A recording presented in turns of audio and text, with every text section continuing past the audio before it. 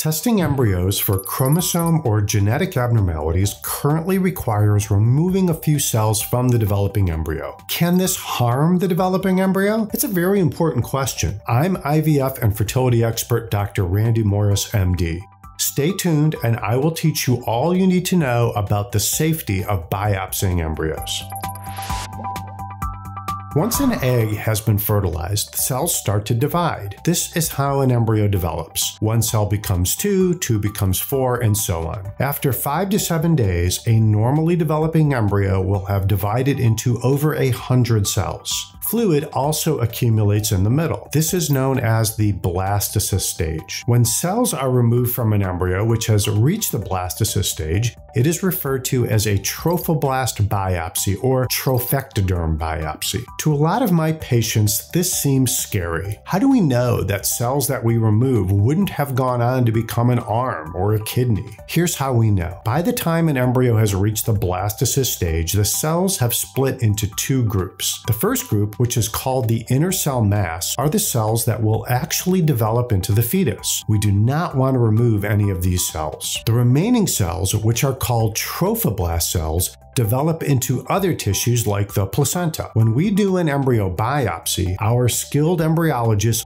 only remove cells from the trophoblast. There is no risk of damage to the developing fetus. But can a trophoblast biopsy still cause any problems during a pregnancy? A number of studies have tried to compare the risk for complications in pregnancies in which the embryo underwent a biopsy to those in which there was no biopsy. For the most part, these studies were small and oftentimes had conflicting results. When this happens in science, we can try to combine a bunch of smaller studies into one larger study. This is known as a meta analysis. Last year, in 2023, researchers performed a meta analysis on this topic. The meta analysis included 13 studies involving 11,469 live births in which the embryo had a trophoblast biopsy and 20,438 live births in which the embryo did not have a biopsy. They looked at several different types of complications. First, they looked at several complications that occur during pregnancy. This included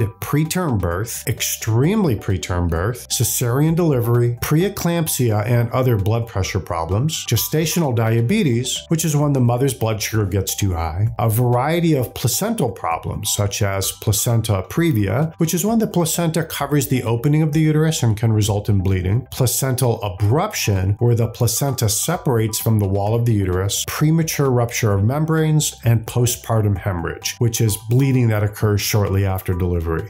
In this meta analysis, performing a trophoblast biopsy did not increase the risk for any of these complications. The next group of complications they looked at were ones that affect the fetus. They looked at how often the fetus was born with a low birth weight, very low birth weight, or high birth weight. There was no difference in any of these problems. They also compared the rate of birth defects and how often a baby had to go to the neonatal intensive care unit. Again, there was no difference in how often these occurred, whether the embryo had been biopsied or not. Our infertility TV bottom line is this trophoblast biopsy does not appear to increase the risk of any of the major types of complications that occur during pregnancy. It does not increase the risk of birth defects or cause any problems with the growth of a fetus. If you and your doctor determine that embryo testing would be of benefit to you, you can do so without having to worry about it causing problems. Infertility TV is your most trusted source for accurate information on infertility and miscarriage. If you are not a subscriber yet, hit the subscribe button right now. A new episode is released every week. Don't miss any episodes. You can also check us out on our website, ivf1.com, where you can become a patient.